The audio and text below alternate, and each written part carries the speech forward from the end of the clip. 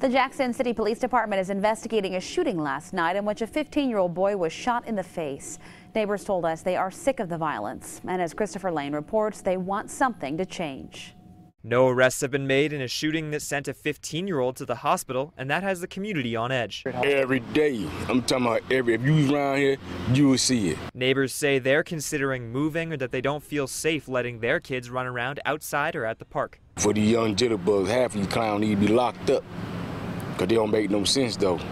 It's crazy. And they're asking the community to do something about it. And that's where places like the Martin Luther King Recreational Center come in. What we try to do here is just also offer positive options to kids. What we try to do is offer recreation services, any uh, education services, uh, internet services, some things like that to get, get young people off the streets and involved in what we're trying to do here. The shooting happened right next to the Martin Luther King Recreational Center where a 15-year-old was caught in the crossfire of a shooting according to neighbors.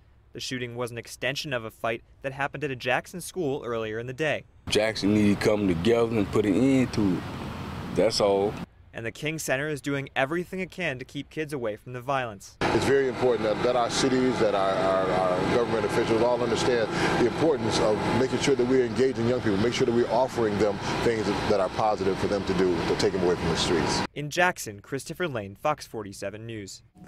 The police are still searching for suspects. They believe there were two males fighting on Adrian Street when the 15 year old was shot.